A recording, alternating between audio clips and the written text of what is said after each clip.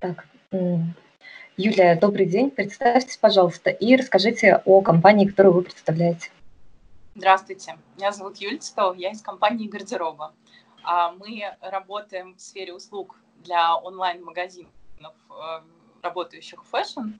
А, и наша задача – это в мирное время поднимать продажи в этих магазинах, а сейчас во время кризиса, конечно же, не допускать катастрофического их падения. А, мы предлагаем продукты, которые связаны с персонализацией контента.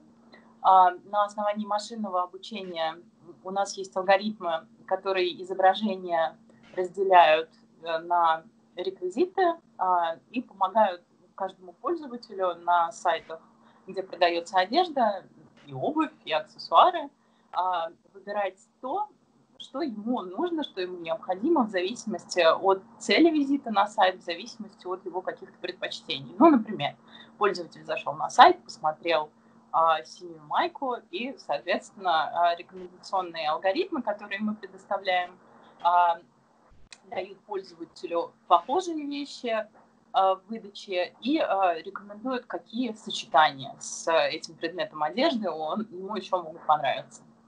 А, соответственно, в каких а, вариантах наши продукты представлены? Это в первую очередь рекомендационные алгоритмы, а, ну, также чат-боты для, для мессенджеров, где картиночная составляющая рекомендационных алгоритмов сочетается с вопросами, ну, то есть с текстовым форматом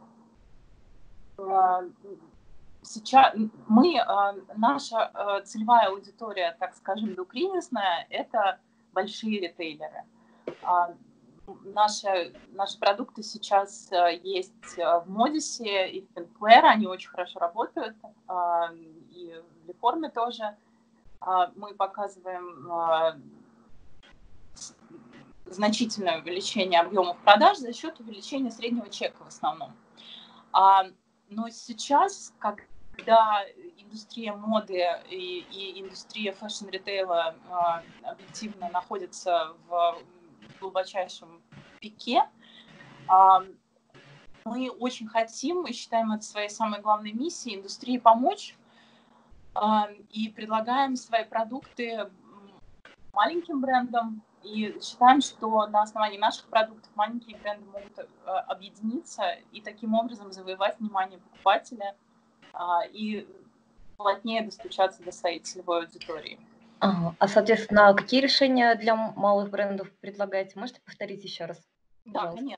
Э, вот э, наша основная идея заключается в том, что на основании рекомендательного алгоритма а, маленькие бренды могут объединяться. То есть, например, э, люди, у которых э, производство вечерних платьев, а, и которые обладают уже достаточно серьезной целевой аудиторией, а, могут в качестве посредством а, рекомендационного алгоритма пускать у себя на, сайте, на сайте рекомендации, ну, допустим, домашней одежды, либо дополнять решение и продажу вещей э, своих какими-то аксессуарами. Сейчас мы очень плотно работаем в этом направлении, набираем а, молодых дизайнеров, ну и молодых марок, или не очень молодых марок, но небольших марок, которые готовы в этом поучаствовать, э, и, соответственно, в течение трех месяцев предлагаем свои услуги бесплатно по внедрению этого рекомендационного алгоритма, а, с тем, чтобы все потенциально подружаемые дизайнеры между собой подружились, а, соответственно, покупатель получал а, больший, больший интерес к себе, скажем так, а мы получали убедительные доказательства того, что наш продукт работает. Соответственно, принять участие в этой, скажем так, программе могут э, любые желающие, связавшись с вами по контактам, которые будут указаны под видео, правильно? Да, все правильно. Но на, у нас есть определенные требования технические, но они довольно простые, и а, мы всегда идем навстречу. Так что да. Это замечательно, я думаю, это будет очень полезно, и вы сможете найти потенциальных партнеров. Пожалуйста, пишите Юле, участвуйте, ознакомьтесь с новыми технологичными продуктами и повышайте продажи. Спасибо вам большое. Спасибо, Карин.